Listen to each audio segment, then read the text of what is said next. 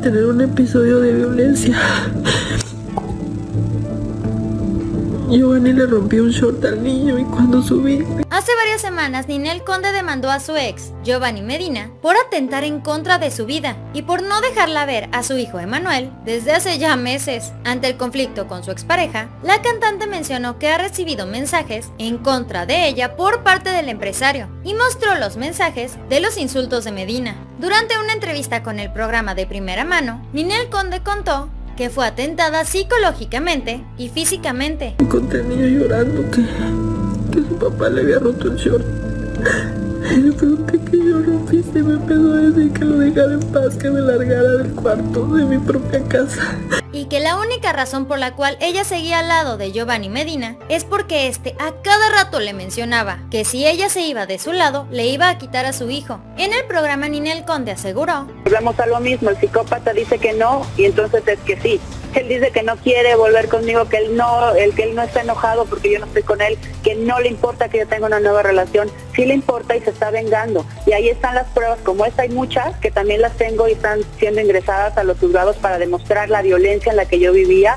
Él siempre quería que yo regresara con él. Y él utilizaba al niño de moneda de cambio. Sí, aquí está el niño, pero pues viene si nos recalentado, pues no, ya no, y ya no existe esa posibilidad. Asimismo, la intérprete de la canción Te Pesará Mencionó que en varias ocasiones ella perdonó a Giovanni, pensando que en algún momento él iba a cambiar. Además, Ninel Conde mostró varios mensajes para demostrar los insultos que le enviaba a su expareja. En algunos mensajes que mostró Ninel se pueden ver palabras muy altisonantes, las cuales yo creo que ni a tu peor enemigo le podrías decir. Y en este caso estamos hablando de la madre de su hijo. La cantante y actriz mencionó. Niega lo que está haciendo realmente. Dice que no trabajan en el gobierno, pero trabaja para agentes de gobierno tal vez por dentro o por fuera.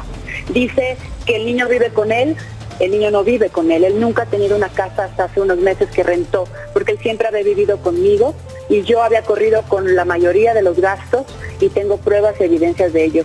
Así que cuando yo lo veo hablar, pues digo, pues sí, por eso caí, por eso a mí también me engañó, haciéndome creer que era la persona que no era porque él jamás me llevó a su casa, jamás me llevó a visitar la casa con sus papás, yo nunca conocí su domicilio físico, siempre había pretextos para que yo no conociera el domicilio que según él vivía en Polanco, eh, cosa que nunca pude comprobar. Durante la mañana del 19 de mayo, la actriz y cantante Ninel Conde acudió a Palacio de Gobierno, en la Ciudad de México, para hacerle llegar una carta al secretario de Relaciones Exteriores, Marcelo Ebrard, y al presidente de México, Andrés Manuel López Obrador. En esta carta la famosa explicaba que ha sido separada de su hijo, porque supuestamente el menor podría ser afectado, ya que Ninel Conde había viajado, y eso sería una causa potencial para que el menor adquiriera el padecimiento que está afectando a México y al mundo entero, lo cual de acuerdo con la famosa es falso. En el programa con Gustavo Adolfo Infante, Ninel Conde reveló que ya recibió respuesta por parte del gobierno de la República, quienes se daban por enterados de la situación y aseguran estar en contra de lo que ocurrió, además de que le mencionaron que le iban a brindar el apoyo necesario. Ninel Conde aprovechó el programa para explicar que ella no pedía ayuda al gobierno federal para que su caso se trate conforme a derecho, sino también el de miles de mujeres que pasan por una situación similar a la de ella. Tanto la cantante como Gustavo Adolfo Infante reconocieron la sensibilidad por parte del gobierno federal por darle respuesta rápidamente y empatizar con su caso, hasta ahora es momento que la famosa cantante y actriz lleva más de tres meses sin ver a su hijo. Y es que también Ninel Conde ha mencionado que Giovanni Medina sufre de mucha ira, lo que en algún momento puede afectar al pequeño. Por otra parte, Miguel Woloski, ex asistente de Ninel Conde, también sacó sus trapitos al sol, detallando cómo Giovanni Medina lo ha criticado por ser abiertamente de la comunidad.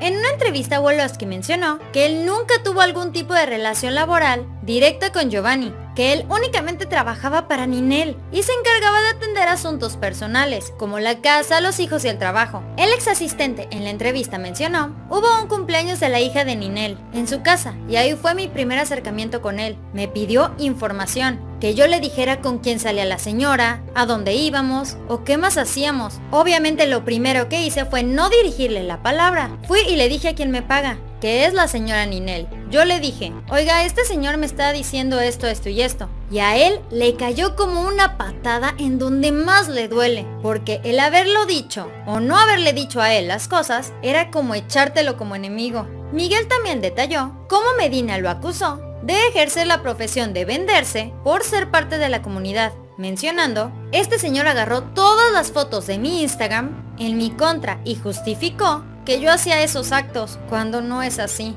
Esto fue Famosos de Cerca. Dale like a este video y dinos en los comentarios aquí abajo. ¿Tú qué opinas? ¿Crees que estuvo bien que Ninel Conde haya acudido con gobierno federal para que la puedan ayudar? ¿En qué crees que termine esta historia? ¿Crees que Ninel Conde pueda ver a su hijo pronto? ¿O de plano Giovanni Medina lo va a tener todavía bien encerrado en su casa? Recuerda suscribirte a nuestro canal de YouTube y activar la campana de notificaciones aquí abajito. Si nos estás viendo en Facebook, no olvides darle clic aquí, en seguir, para que no te pierdas ni un solo video que publicamos. Recuerda que subimos videos todos los días, así que prepárate para mucho más. Nos vemos muy pronto. Bye.